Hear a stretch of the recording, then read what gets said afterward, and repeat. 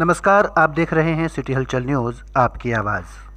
आज आर्य सुगंध संस्थान मुस्सेपुर के द्वारा स्वामी दयानंद सरस्वती जी की जयंती के उपलक्ष्य में एक कार्यक्रम का आयोजन आश्रम प्रबंधिका श्रीमती कमलेश आर्य के संचालन में किया गया।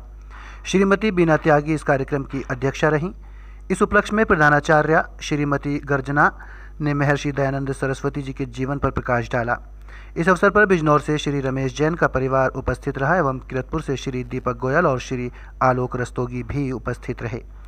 संस्था के अध्यक्ष श्री सुंदर गोयल ने अपने शब्दों से महर्षि दयानंद जी के जीवन की व्याख्या की।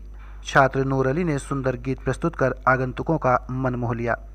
आश्रम के सभी बच्चों सहित सभी आश्रम वासियों ने बड़े ही धूमधाम से स्वामी दयानंद जी की जयंती मनाई। नजीबाबाद से अपने सहयोगी राजपाल सिंह चौहान के साथ मैं राजवीर सिंह, सिटी हलचल न्यूज़।